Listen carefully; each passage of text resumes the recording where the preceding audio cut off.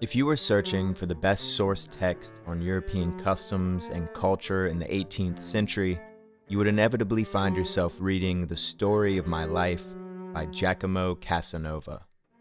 And instead of some dense, weighty binding full of face smacking boredom and lessons on dinner etiquette, you would soon be reading about a man who sharpened the skill of seduction to the point of a profession, one who schemed, scammed, and gambled with the nobility, conned ladies with promises of occult wisdom, fought in duels, won the hearts of countless beautiful women, and stole the pleasure of some girls far too young to mention.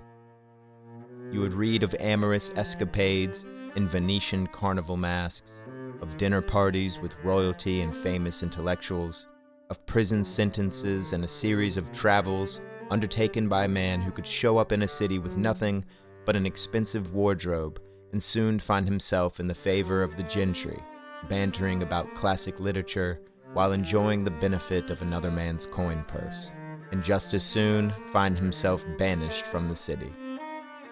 This man was the best known womanizer playboy in the 18th century, and he was born in Venice in 1725 to parents who were both actors and wanted him to become a priest. He writes the memoirs of his life, saying, I'm writing my life to laugh at myself, and I am succeeding.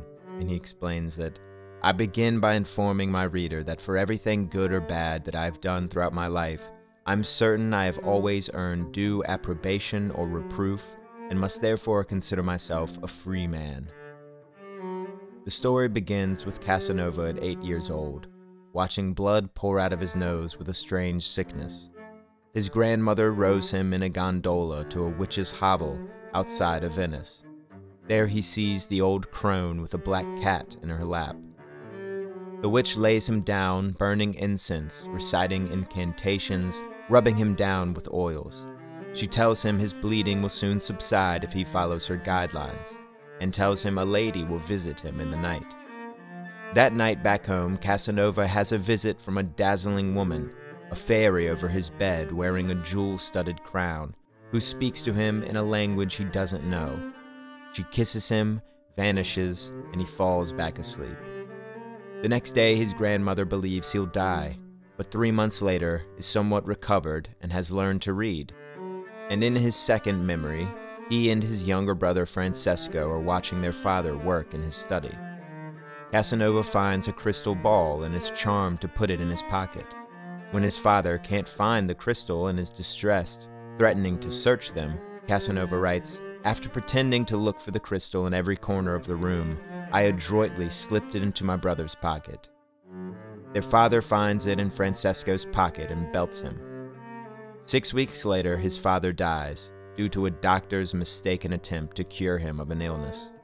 My father died in his prime at the age of 36, said Casanova.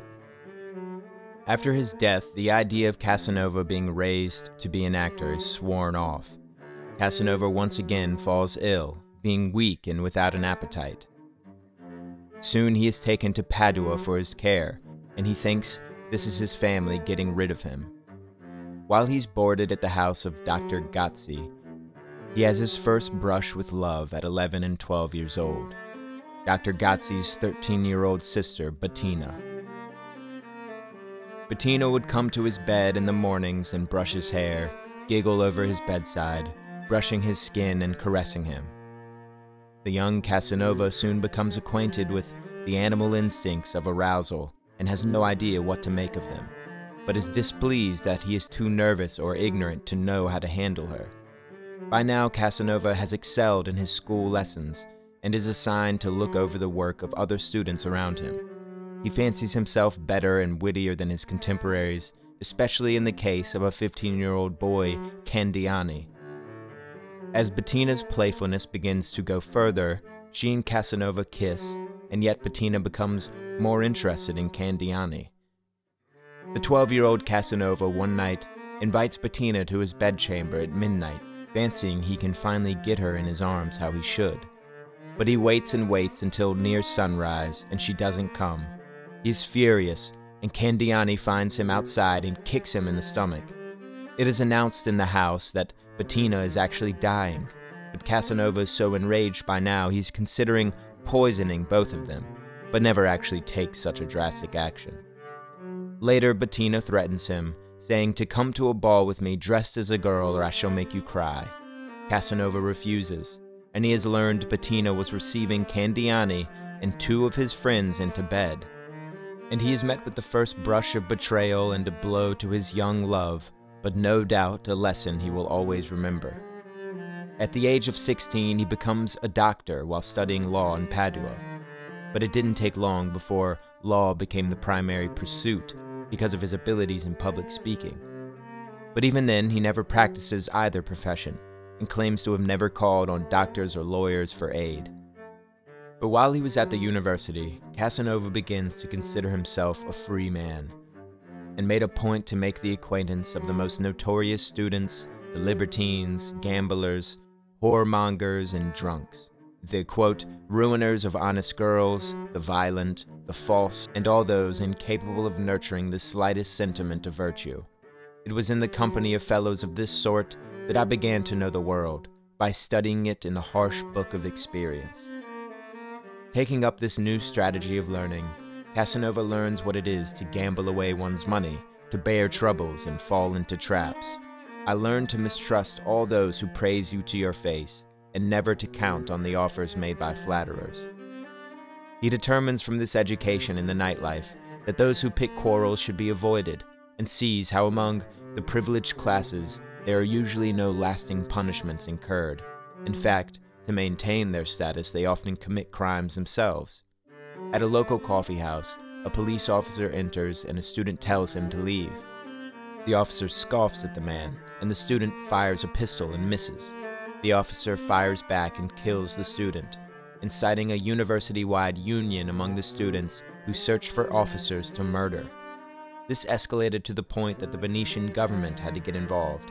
Casanova, too, ignores the advice of his landlord and takes up a rifle with his fellow students, seeking to hunt their common foe, but disappointed when they found none. Now he returns to Venice, having completed his studies, and is introduced to others with this description of education. This makes him the subject of attraction to women and the heads of families. Now he's back living in what was his father's large and well-furnished house with his brother Francesco, and takes on new tutors to continue his studies. He becomes attached to a former senator, Signor Malipiero, and dines with him in the company of rich and witty ladies. The senator is a bachelor and lives the lifestyle as such, having some 20 mistresses well into his 70s. But when certain ladies left the old man without a climax, Casanova was there to hear his sullen reflections, and soon becomes the old man's favorite teenager. And Casanova, in the company of the old partying gentry, learns the two faces of polite society at a rapid pace. He charms the old women, meets and flirts with their daughters and nieces, and develops his wits and relations. In just a few days, he says, I became a darling of all the ladies.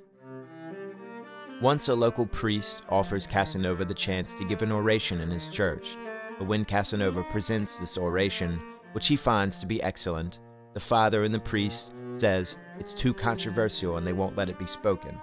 Casanova explains that if the church will have none of it, he'll have it published. Thank you, Reverend Father, but I prefer to deliver my own or not at all. He reads this to Signor Malipiero's dinner guests, and they applaud him unanimously. He ends up reading the sermon at the San Samuel Church at 15 years old to a widespread applause. With this, he becomes determined to be a preacher, and spends more time with Father Tosello of the church, and falling in love with his daughter, Angela. But when the time came to read his new anticipated sermon, he thinks he can memorize it, which he doesn't. So when he's on the pulpit in front of a larger audience, he forgets his lines, rambles, and falls on his face with embarrassment. And that was the last time young Casanova gave a sermon. In the next year, he designs his love and seductions for Angela but it soon becomes a torment. She denies him at every chance, but wants him to leave the church and become his wife. He grew skinny with his despair, and comments that at this stage of life he respected a virgin's innocence. He says, I wanted nothing to do with married women. What stupidity. Not long after this, a housekeeper's daughter, Lucia, takes young Casanova's interest when he's invited to a countryside home. They get to know each other over the days, and once more he is infatuated with his newest and greatest object. One day he can take no more of it, takes her into his arms, saying, Let me kiss your tongue a thousand times, and the divine mouth that told me how happy I am. They get busy, and suddenly Lucia jumps out of bed, tidying up and straightening her dress. A good thing, too, because her mother came in an instant later. Days later, once he returns to Venice, however, he resumes his pursuit of Angela. The old habits are hard to kick. And soon Casanova loses his virginity in a night-long threesome with two young sisters that worked with Angela. And this becomes one of his early and most famous conquests. But shooting too far with one girl named Teresa, his patron, Signor Malipiero, kicks him out of his palazzo. He is now 18 and is soon expelled from a seminary in Murano that his mother enrolled him in. He has many adventures now, taking him all around the country, and he takes off his ecclesiastical robes once and for all to pursue a military career while he's back in Venice in 1745, enlisting as a petty officer. Once in uniform, while departing a ship for the island of Corfu, a ship's captain who used to be a surgeon thanks Casanova but Casanova doesn't know why. I find your curiosity a bit indiscreet, he says. You must forgive me, sir, said the ship's captain, since it comes from my gratitude. The captain says that he is also a surgeon and was in poverty until Casanova visited last year. He tells Casanova, You left a little souvenir with Don Girolamo's governess, who gave it to a friend, who in good faith shared it with his wife. The captain says in less than a month he had 50 patients with some curable but certainly sexually transmitted ailment Casanova left behind. They share a long laugh, and Casanova says he's clean now, but the captain is sure he won't be for long. When they set sail, four days pass when a strong storm sweeps the seas. The crew is weeping and losing control of the ship, and a priest is excoriating the demons in the clouds to save them. Casanova climbs the rigging amidst the winds and rains and tells the crew, The priest is mad, keep your stations. But the priest convinced the crew that so long as Casanova is aboard, they'll have no good weather. Then Casanova was struck from behind and nearly thrown overboard to certain death, except his coat snags on an anchor and some of the crew manage to pull him up. Thereupon, Casanova takes a truncheon and viciously beats the sailor who shoved him. The priest and some of the crew then engage in a petty skirmish on deck, with Casanova and the other soldiers aboard. But when things finally settle down, the priest asks only that Casanova turn over one of the manuscripts he came aboard with. And when the priest burns this on a brazier, suddenly the storms stop and there is peace on deck. Finally arriving to the island, within a month he has lost all his money to gambling and has to pawn all his jewels. And back in Venice, he begins to earn his pay by playing the violin in the orchestras, which he doesn't think very highly of, but is happy to be self sufficient. My profession, he says, was not a noble one, but I did not care. Calling everything a prejudice, I soon acquired all the habits of my lowly comrades, and in this era of his nightlife, he set out after his performances in bad company, getting into tavern brawls and spending nights in places of ill repute. He says, We spent entire nights roaming through different neighborhoods, conceiving and carrying out the most scandalous pranks. They would untie people's gondolas and watch them bob across the canal, laughing when their owners cursed them. They would send doctors and midwives to the homes of noblemen, alleging that a lady was giving birth, but simply wasting their time with a ruse. If a door was cracked open, they would barge in, screaming, Your door is open, to the residents who fell out of their beds in fright. One night during carnival, he says, midnight had struck, and there were eight of us, all masked, roaming about town, each scheming to distinguish himself in his comrade's eyes by inventing some new sort of prank. They then clear out a restaurant claiming to be members of the Council of Ten, and they take a married woman captive, claiming they will row her across to her house. They settle her down, bring her to an inn, and soon the leader of their band, who is a Venetian nobleman, is making love to the married woman, and she allegedly is fond of it. Then Casanova takes his turn, and the whole gang, everyone but Francesco, Casanova's brother, has their way with the woman who is said to have thanked them all as they put on their masks and left. This caused a town-wide scandal and incited a great laugh. Many authorities searched for the culprits but came out with nothing.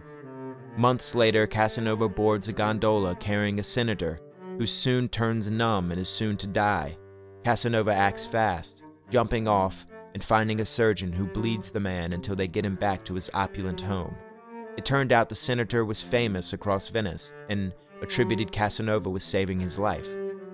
Casanova uses this situation to his advantage, convincing a doctor he had oracular powers bestowed by the esoteric Hebrew Kabbalah.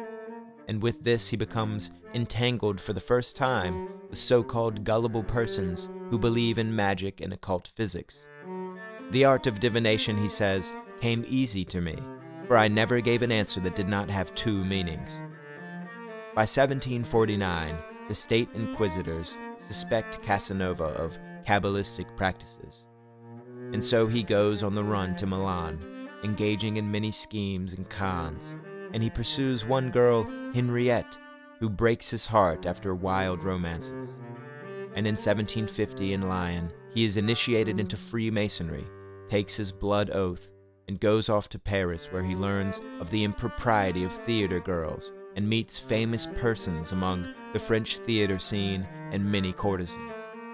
All the Italian actors in Paris, he said, wanted to show off their wealth to me. They invited me to dinners, held parties in my honor. One night, a prince invites him to meet an ugly duchess who tries to devour him with drooling lips, and he recoils from her in disgust successfully excusing himself by saying he has the clap. Within two years, he spends some time writing plays for his mother's theater company in Dresden, and from there sets off to Vienna at the age of 28.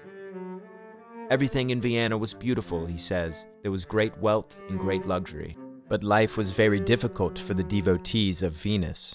And in Vienna he comes down with severe indigestion, and thinking he's soon to die, wakes up in bed to find a doctor and a surgeon about to open his veins with a lancet. Now Casanova, ever distrustful of doctors since his father's death, cries out, No, no! And when the doctor tries to hold him down, Casanova clutches his pistol and fires at the surgeon, managing to hit only a lock of the man's hair, but making them flee nonetheless. In 1753, he's back in Venice, falling in love with Caterina Capretta, who he wants to marry, but her parents do not consent. Casanova becomes entangled with a swindler, Antonio Delacroix, in a gambling scheme, but Antonio is soon banished from Venice. At this stage, Casanova has been arrested multiple times in other countries and cities, and has learned the art of seduction to the point of an admitted weakness for the opposite sex. Cultivating, he says, the pleasures of the senses was my principal concern throughout my life. Casanova writes on occasion very memorable lines, and it is clear he revels in the thrills of life and literature and high society as he sees them. He says, The happiest man is he who understands the art of finding happiness without letting it encroach upon his duties, and the unhappiest is he who has chosen a way of life in which he finds himself with the sad obligation to plan every day from morning till night. And thus Casanova finds himself making love to a nun in her privately adorned casino full of pillows and delights. And he leaves her the next morning, picking up a letter from Caterina, who he is also still in love with. And she tells him she saw Casanova speaking with that same nun at the coven's visiting room. Fortunately, she left before she could realize the two had more going on than the dealings of the Lord. As it turned out, the nun was a dear friend of Caterina's, this does nothing to prevent Casanova from designing the most exquisite pleasure boat for another bout with the nun. He furnished a large bed with luxurious cushions, lanterns, scents, and the richest foods.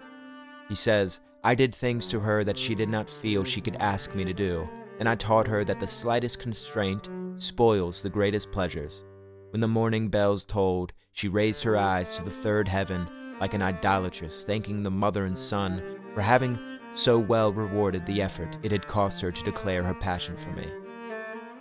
These episodes with the unnamed nun in Casanova's memoirs get further scandalous when the nun reveals in a letter that her own husband had been watching them make love from a peephole when Casanova visited her. Now Casanova knew the nun was informing the rather open-minded husband about their escapades, but he had no idea he was actually watching them. This letter greatly surprised me, he said. Then after thinking it over, I laughed out loud. Once the fires cool for Caterina and the nun, Casanova moves on to Tonina and then to her sister, Barbarina, all the while suffering massive gambling losses. To resurface above the storm of debts, he sells the nun's diamonds with her consent. But his shady dealings have gone too far now, and the state inquisitors search Casanova's home. And on July 25, 1755, at 30 years old, he is imprisoned under the lead roofs at the Doge's palace, charging him with, as the Venice tribunal put it, primarily public outrages against the holy religion. No longer could he scheme and seduce with his powdered, scented hair. No longer could he scam noblemen with alleged acts of occult wisdom. His pseudo occult manuscripts are seized and used against him, and he is now in a dark cell with nothing but his madness for a friend. A madness that naturally accompanies all human beings deprived of life in a dank, lightless torture. I became like a madman, howling and kicking my feet, and accompanying with curses and shouts the useless racket my strained situation excited me to create. Such pitiless abandonment did not seem possible to me, even had I been sentenced to death. But it wasn't death he was sentenced to, but five years. This was too much. And with the blackest hatred and determination, Casanova gradually develops a masterful plan of escape. But with lead roofs in a dark cell with a low ceiling, this was as close to impossible as it comes. But he was at the top floor of the five stories of the Doge's palace, a very famous building and heavily guarded. One day, while he was allowed to walk around for exercise in the attic, he finds a piece of marble and an iron bar, a door bolt. He takes this and carves a chisel from the iron against the marble.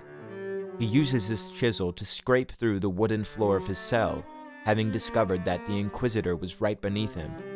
He knew he could scrape out a hole of escape, but had no idea how to deal with the Inquisitor after that. Nonetheless, coming close to tasting the fruit of this plan, and one day from escape, he never gets the chance. Suddenly his cell is moved down a floor to a larger and lit cell, and soon he devises another plan. He discovers that a priest lives in the cell above him, one who likes to read, and the two men begin exchanging letters. Casanova convinces the priest on his escape plan, telling him all he needs to do is break through the floor and then the ceiling. The priest Balbi is on board, and Casanova gives him his chisel, hidden inside a Bible under a plate of pasta. In a week, the priest is about to break through, and Casanova tricks his cellmate into going on with the plan by telling this overly religious man that an angel would come to help them escape tomorrow night. Sure enough, that angel Balbi broke through the ceiling. By now, Casanova has spent 13 months in prison, and he throws everything he has into the escape. Within an hour, he has broken through the cell ceiling to the attic, and he spends four hours making a hundred yards of rope out of the bed sheets. Finally, they burst through the lead plates of the roof, and Casanova pokes his head out to see a crescent moon so they had to wait until the moon fell, so none of the active persons on the street could see them scampering about the rooftop. At last, the companions emerge into the cool air of freedom. On the summit of the roof, he says, I spent nearly an hour going everywhere, looking, observing, examining. After hours of toiling and problem solving, and nearly slipping off the rooftop, and enduring the priest's last minute fears, Casanova and Balbi realize the palace is too high for their climb down to work and so Casanova breaks through a dormer and manages to escape by getting out through a corridor inside the palace itself. Now at large, Casanova resumes his adventures away from Venice, and he has changed his name to Chevalier de Seingalt. In 1759, he exposes a trick of the mysterious Saint Germain and enjoys more romantic entanglements. He exchanges wits and debates with Voltaire in Switzerland and in Tuscany, he engages in a relationship with a 13 year old ballerina. In 1760, he is tricked by Karl Ivanov with false bills of exchange and is forced to travel to Rome. And in 1766, he is in Warsaw, where following a theater performance, Casanova and a man, Branicki, argue for who has the privilege of visiting one of the dancers after the performance. Except when Casanova yielded to Branicki, the man calls him a poltroon, or an utter coward. And so Casanova challenges the man to a pistol duel, including in his letter of challenge, Do be so good, my lord, as to take me in your coach, and lead me to where my defeat would not compromise you under the laws of Poland, and where I might enjoy the same advantage should God assist me in killing your excellency. And when the duel finally commenced, Casanova writes, I fired at him at exactly the same instant he fired at me. When I saw him fall, I quickly put my left hand, which I had felt had been wounded, in my pocket, tossed my pistol aside, and ran at him. Casanova then accompanies the injured opponent back to an inn and helps care for him, and he flees, happy that he didn't kill Branicki, an official of the crown, because he would have surely been executed. Nonetheless, he's ordered to leave Warsaw by the king, and when he travels to Vienna, he's forced to leave by order of the empress for other matters. And in 1769, his loose tongue to a count will once again result in him having to leave Madrid. But in Barcelona, he has a wild affair with the mistress of the Captain General of Catalonia. This lands him yet again in prison at the age of 44, where he spends his weeks there writing The Refutation of the History of the Government of Venice. Making it back to Italy, he takes a tour of every city, expecting the old thrill he used to enjoy. But now age and his fading looks have made things difficult. He is less enthusiastic about his chances, and certainly grappling with the fading ecstasies of youth he used to indulge.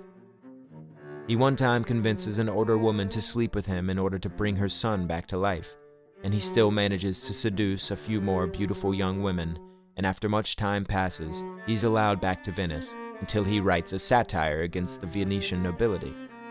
He wrote dramas and several novels, translated Homer's Iliad into Italian, and in 1785, having developed his literary skills throughout his life, aided by the many cultured and traveled experiences he collected, he is employed as a librarian in the castle of Count Waldstein in Bohemia. Here he began writing his memoirs in 1791, a 3,600 page manuscript that remained unfinished at the time of his death in 1798. Ultimately, Casanova is not a man to want to live up to in many regards, but he offers us a lens into an entirely different world, embodying the archetype of the trickster and hedonist to its closest approximation of a philosophic way of life, which it most certainly isn't in the classic definition of philosophy. Nonetheless, Casanova believed in divinity, saying, I believe in the existence of an immortal God, creator and master of all forms but he does find himself at extreme odds with the Stoics, who shunned notions of pleasure in a manner that Casanova equates to atheism itself. And he is not necessarily the best salesman of his own philosophy, considering he often comes out of his gambling and courting sprees a twisted mess of debts, heartbreaks, and in the nauseating defeat of one too many romantic entanglements. There is a lesson to be learned in that, and yet he makes no apologies for it, and damn if he didn't damn himself in at least half the eyes of history by admitting to all the affairs and perversions he indulged in. You will laugh, he says, when you learn that I thought nothing of deceiving idiots, scoundrels, and fools when I needed to do so. As for my deceptions of women, these are not the sort to be tallied, since when love has a hand in things, each party usually dupes the other. Fools, however, are entirely another matter.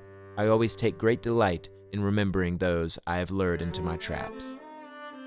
I hesitate to praise him, but then again, I take no pleasure in faulting him. We can't simply impose modern sensibilities on the past and think they should have lived up to our own lofty standards, sinless ourselves as we often pretend. But like any gray character in the stories we love, Casanova draws out of us a sense of adventure and excitement, and causes us, who have been fortunate enough to have laid claim on some wild adventures ourselves, to reflect on our lives without regret, prying out the mysteries of nature and God that sneak into our experience from time to time to show us there is always more going on than our personal victories and despairs. He tempts us to go boldly into the unknown, even if we're poor and lacking confidence, especially in the arena of seduction, which many young men in these times could benefit from, so long as it's balanced with morality and fair intentions, conforming to the age limits and consent of modern society. And if our life doesn't benefit from the guidelines of morality, well, life has a way of sorting it all out in one punishment or another, as it surely did with Casanova. His memoirs are a treasure of many more adventures and scandals, as if the man lived simply for the pleasure of writing the stories later in his life. From his keen young mind to his travels around the world and noble courts of his time, Casanova will forever rest on the highest pedestal of history's great seducers and scoundrels. And he sticks fondly to his pursuit of self satisfaction, writing, In recalling the pleasures I enjoyed, I relive them, while I laugh at the pains I endured and no longer feel. At the age of 72, when I can say I lived even though I still breathe, I can think of no greater amusement than to entertain myself with my own adventures and give dignified cause for laughter to the good company listening to me, who have always shown me friendship and whose society I've always frequented. That same year when he wrote these words, while in Bohemia in 1797, Napoleon Bonaparte seizes Venice, and the very next year Casanova dies, leaving his memoirs to the laughter of the world.